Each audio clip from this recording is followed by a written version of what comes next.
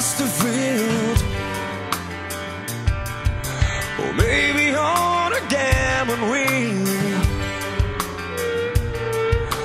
Lost The vision for this year is to build a car which builds on the good principles of last year while becoming easier to build, more reliable and a bit more aesthetically pleasing in terms of getting design points.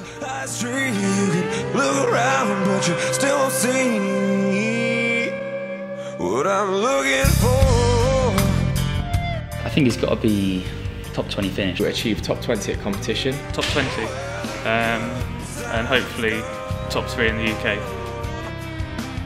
In terms of the project itself, we're just looking to get a car running, do the best we can, you know, apply all of our engineering theories that we've learned um, to produce the best, uh, best vehicle we can.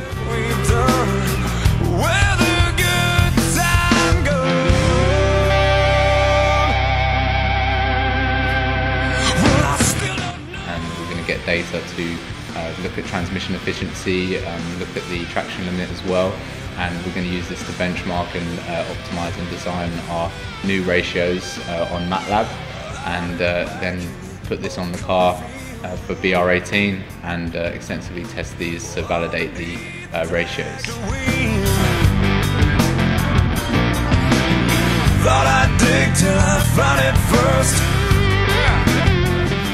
In terms of aero, the main goal is for us to increase overall downforce and also improve on previous year's designs as we only had front and rear wing on our package last year. So providing the full aero package will definitely increase our downforce, reduce our lap times and overall design judging results should improve as well. Just make sure it works, that's it. You can take that bit now.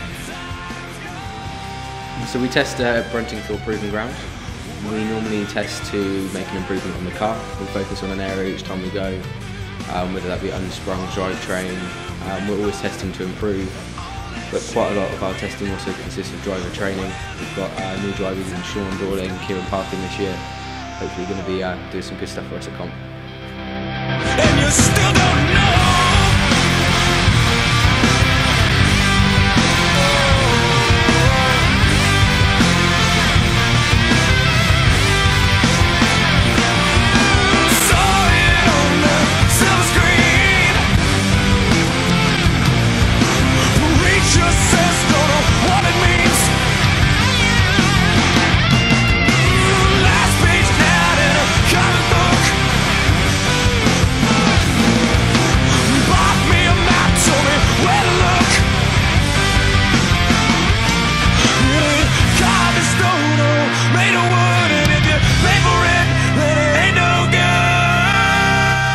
Motivation is I've always wanted to get into motorsport. Um, I've got a great opportunity to be able to try and lead this team to have a really good result.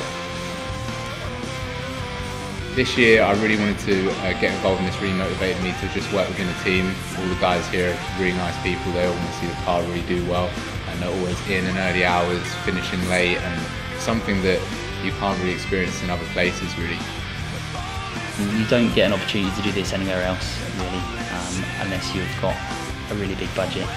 So actually being part of a uni team, which is a race team, it's, it's just, it really appeals to me.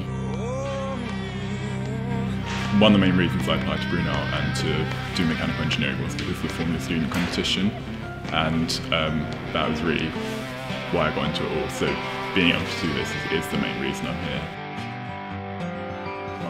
Been interested in Formula One for years now, always wanted to work in it, and this is Formula Students one of the best ways to get involved in something as close to Formula One as possible, like working in a team, uh, managing certain projects, uh, overall experience.